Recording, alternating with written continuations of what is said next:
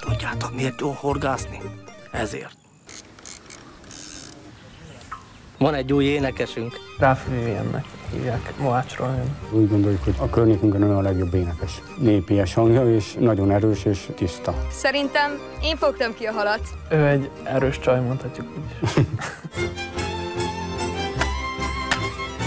Bajai halászli titka az, hogy először is fával tüzelünk, és mindent belerakunk az elején, minden hozzávalót, kivéve a paprikát. Mi úgy szoktuk csinálni, hogy berakjuk a vízbe a hagymát, egy kicsit melegítjük, aztán mehet bele a halacska, és akkor, amikor már lobog a víz, akkor tesszük bele a paprikát.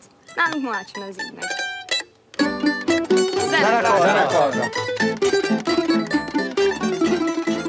Helyre minket, nem csak a környékünkön, hanem országos szinten, szinte mindenhová.